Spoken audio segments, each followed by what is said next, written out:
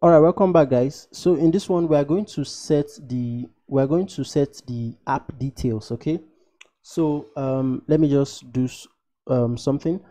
I'll come to my file explorer right? And I'm going to close all of this because I think I'm done with these files. Okay so I'll close my home. And I'm just going to scroll down. Okay so I think I can also close the app folder. Yes I can um, okay yeah. So I'm just going to scroll down and I'm going to locate config.xml okay? And maybe before then I'll just close these files I'm not using at the moment.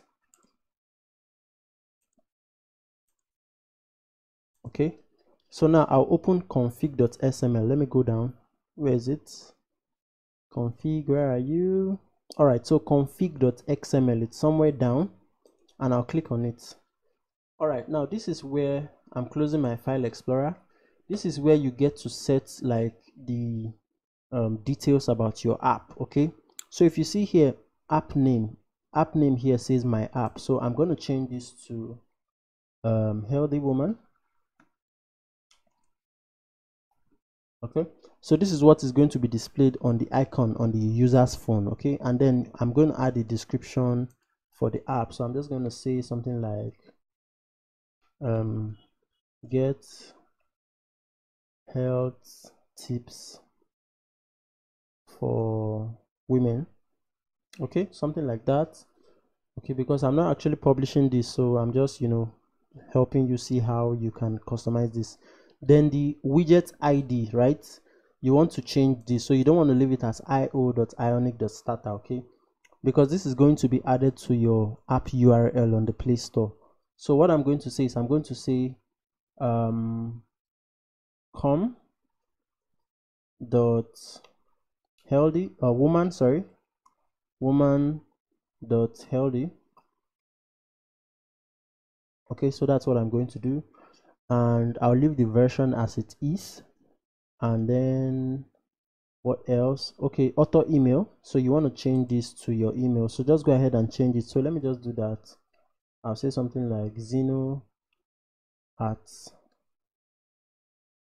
I hope I've not made it. Okay so I need to I need to close that up. Okay so I'll say Zino at gmail.com and for the href that's the website. I'm just going to say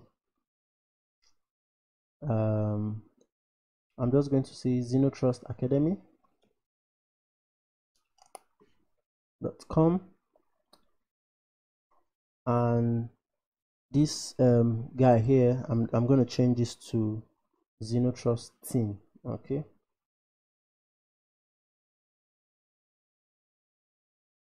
Okay so basically I'm just changing the details of the app all right so am I missing anything? Yeah so that's about it for your you just you don't need to touch any other thing. So these are just the details you need. So my email my website uh, description the name of the app. I'll just leave all of this as is and the id all right so that's fine. So just go ahead and save and i think we are good to go. Okay so in the next lecture we are going to create an apk from android studio.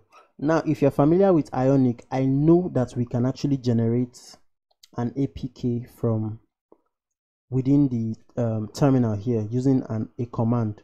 But I've actually used that for some time and it can actually be unpredictable okay? So that's why I'm actually trying to stay with what is you know predictable all right so in the next lecture we're going to generate an APK file from all of what we've done